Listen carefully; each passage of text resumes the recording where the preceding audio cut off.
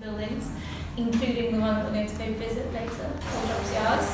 Um, so she knows a lot about a lot of things, um, she's going to talk to you about some of our London projects, so things that you might have seen, you might have been on.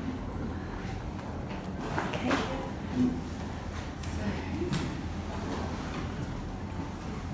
So this is our studio, which is where we are now. Um, we've been here for Well, the studio's 25 years old, we haven't been here for 25 years. here for over 10 years, Yeah. I'd say. Um, and this building used to be a car park. Um, so there's a hotel next door. Um, and when we first took the building, it was where all the cars were parking for the hotel. And we turned it into our studio space, um, so a place where people could work. Um, and we like to work surrounded by lots of objects. So when you look around outside, you'll see lots of things. Um, and a lot of them we've made here in our studio. And then some of them we've also collected from other places. So I think this object here is a boat that um, Thomas brought back from one of his holidays. So we like to look at interesting things and how they're made, and they inspire our work. Um, and this is our workshop, which we'll go and have a look at a bit later. So this is where all of these things are made.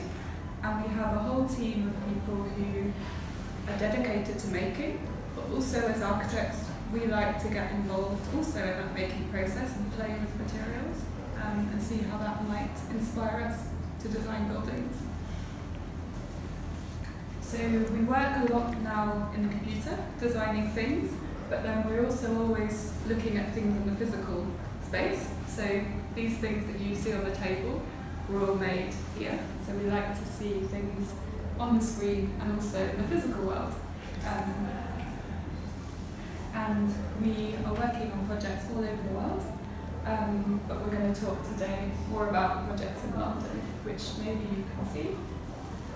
Um, and we like to work at all different scales. Um, so we design things like furniture and also buildings, and also looking at whole parts of the city. So lots of different scales of design. Um, and these are some of the projects that we have worked on. So have any of you ever been on one of these chairs? They're called spun chairs? Yeah?